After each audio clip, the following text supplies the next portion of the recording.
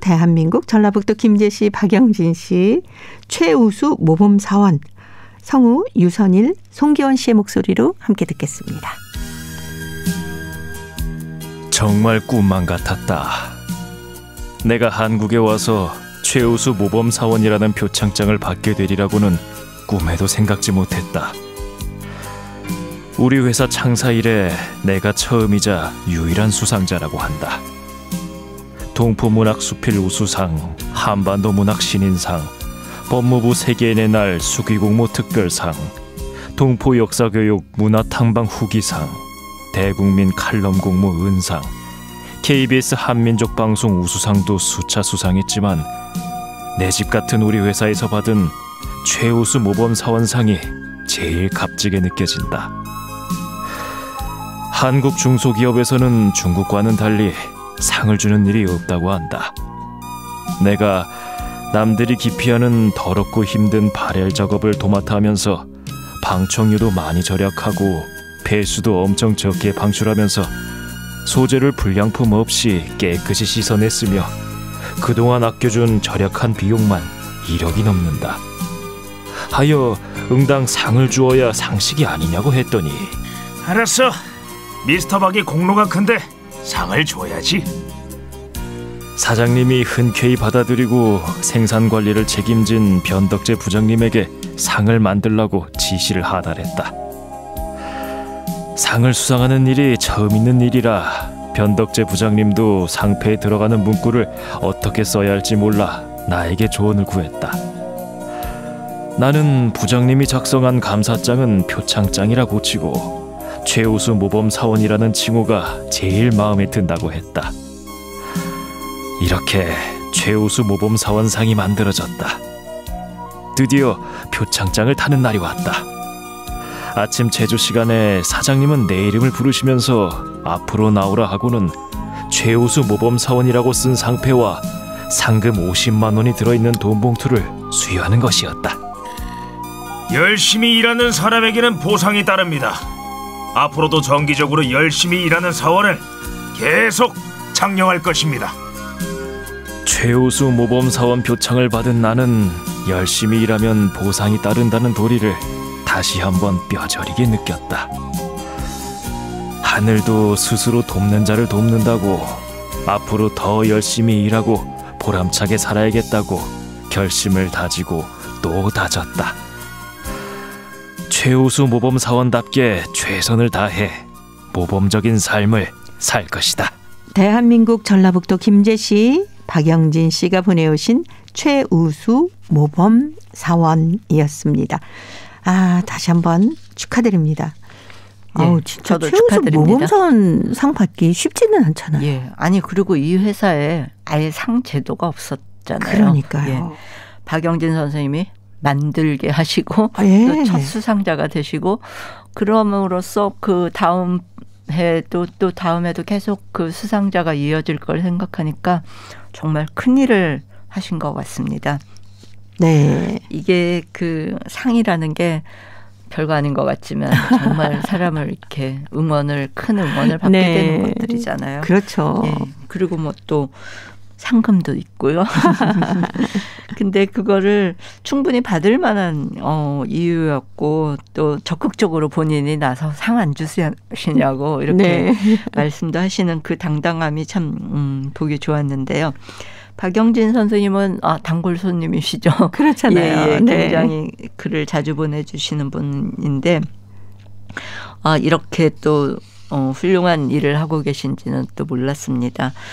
어그 더럽고 남들이 기피하는 더럽고 힘든 바렐 작업을 도맡아면서 방청료도 많이 절약하고 폐수도 엄청 적게 방출했다고 하시는데 네. 아 이건 굉장히 굉장히, 인류를 위해서 네. 큰 공헌을 하시는 거죠. 아, 상 합니다. 예, 폐수를 세- 폐수가 문제가 될 때가 사실 굉장히 네네. 많잖아요. 시골에서 특히 막 농산물이 죽고 이렇게 되는데 그걸 적게 방출하고 또 소재를 불량품 없이 깨끗이 씻었고 절약한 비용만 해도 1억이 넘는다잖아요.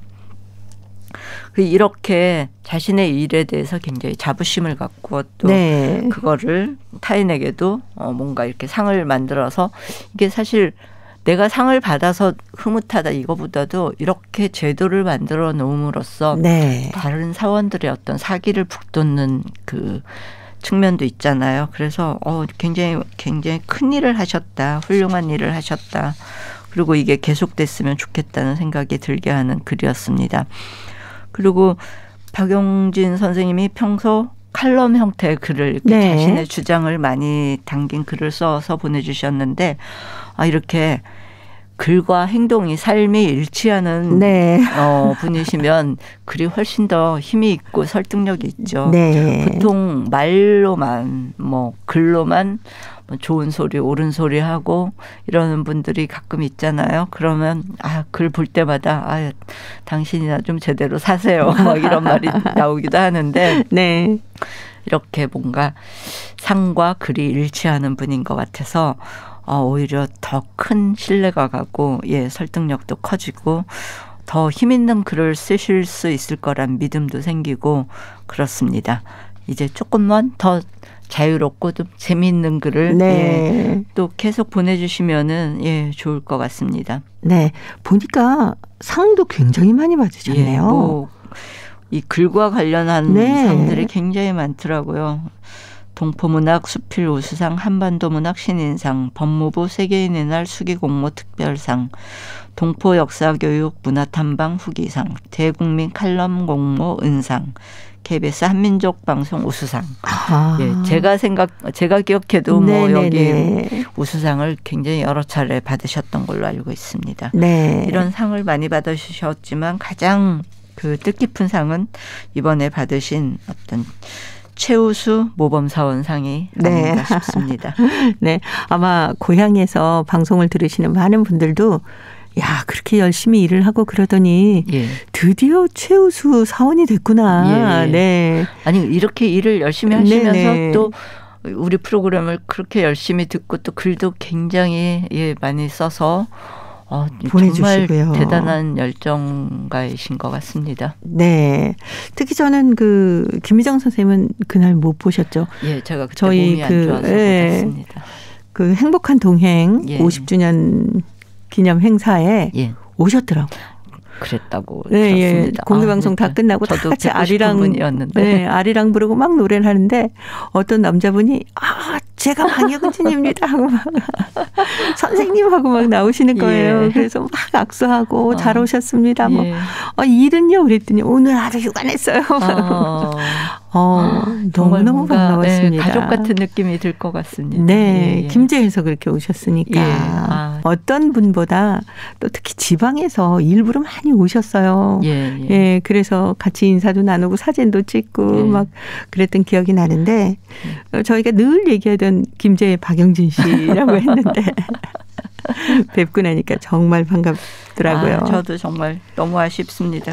예, 건강이 안 좋으셔가지고 예. 하필 쉬는 때라서 예. 저희도 김희정 선생님 생각 많이 했거든요. 네, 박영진 씨는 이제 뭐 한국에 와서 이렇게 자랑스럽게 예. 최우수 모범 사원 상도 모범사원상, 예. 받으시고 열심히 일하고 적응 잘하고 계시니까 음. 누가 이렇게 하겠습니까? 그리고 네. 굉장히 적극적이신 분인 그렇죠. 것 같아요. 네. 진성입니다. 태클을 걸다.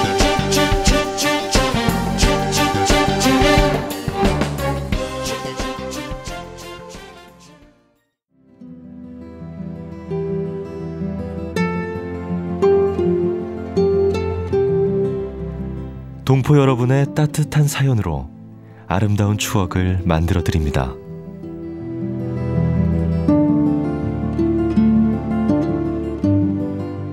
보내실 곳은 대한민국 서울특별시 영등포구 여의공원로 13 KBS 한민족 방송 보고 싶은 얼굴 그리운 목소리 담당자 앞이고요. 인터넷 주소도 알려드립니다.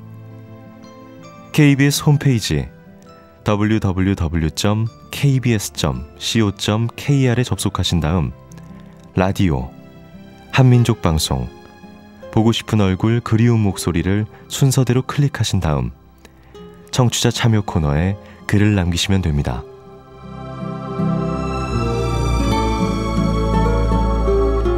정다운 이야기와 아름다운 음악이 있는 보고 싶은 얼굴, 그리운 목소리. 동포 여러분과 늘 함께 하겠습니다.